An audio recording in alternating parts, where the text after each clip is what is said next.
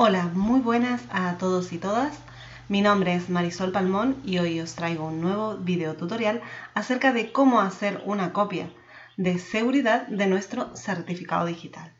Bien, voy a... Mm, este tutorial va acerca de la copia de seguridad si tenemos almacenado nuestro certificado digital en el navegador Mozilla Firefox, ¿vale? Bien, pues abrimos nuestro navegador y nos vamos en la esquinita superior derecha, tenemos tres rayitas una encima de la otra, pues vamos a hacer clic con el botón izquierdo y dentro del menú que se nos abre vamos a buscar opciones.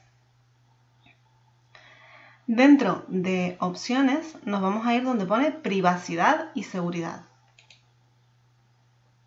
Y aquí, casi al final del todo, ¿sí? vamos a desplazarnos y al final de todo tenemos la parte de certificados.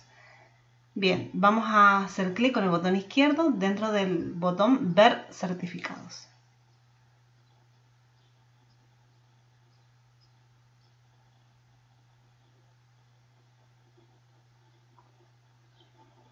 Esperamos un ratito.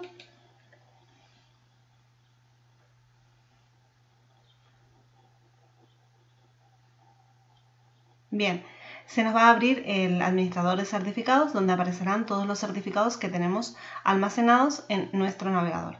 Vamos a elegir el certificado digital que queremos hacer la copia de seguridad pinchando con el botón izquierdo encima de él y luego se nos van a habilitar una serie de botones en la parte inferior.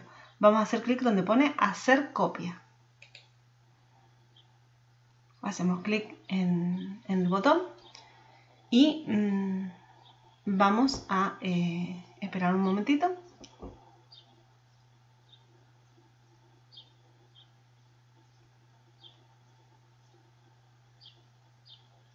Se nos va a abrir el navegador de carpetas para que elijamos dónde queremos hacer la copia de nuestro certificado. En mi caso, yo lo voy a hacer en el escritorio, pero podemos hacerlo, por ejemplo, en un pendrive, en un CD, en algún dispositivo externo o en cualquier parte del ordenador. Bien, vamos a elegir el sitio donde queremos almacenar nuestro certificado digital y vamos a ponerle un nombre. ¿Vale? Como siempre os digo, el nombre tenemos que intentar que sea lo más descriptivo posible para luego poder localizarlo con facilidad.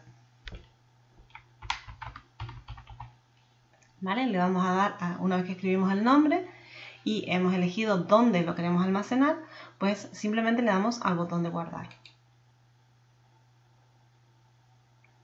Y ya está, nuestro, nuestro certificado va a empezar a guardarse. Una cosa importante es eh, elegir una contraseña. Bien, esta contraseña tiene que ser una que vayamos a recordar, porque la próxima vez que necesitemos instalar el certificado digital nos va a pedir esta misma contraseña, ¿vale? Pero también tiene que ser una contraseña que no sea fácil de deducir, por ejemplo, no puede ser 1, 2, 3, 4, 5, 6, ¿vale? Tenemos que elegir una contraseña entonces que podamos recordar, pero que no sea fácil de deducir por otras personas, ¿vale? Porque es nuestra manera de preservar eh, nuestro certificado digital y mm, todas las implicaciones que eh, significa. ¿Vale? Pues yo voy a elegir una contraseña. El número de dígitos no tiene relevancia, ¿vale? O sea, no nos va a pedir un mínimo, pero recordad que por lo menos debe tener entre 4 y 6 dígitos sería lo mínimo. ¿Vale? Aquí en esta barrita de aquí os dice la, calidad de vuestra contraseña. Intentad que por lo menos esté en verde. Vamos, una vez que hemos puesto la contraseña y la hemos repetido, le damos al botón de aceptar.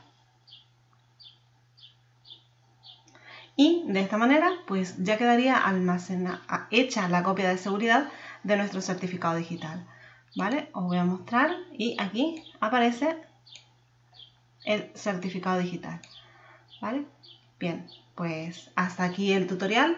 Espero que os sirva, que os haya gustado y os espero en el próximo vídeo. También os recuerdo que si os suscribís al canal os va a llegar una notificación cada vez que publiquemos nuevos tutoriales. Pues hasta la próxima.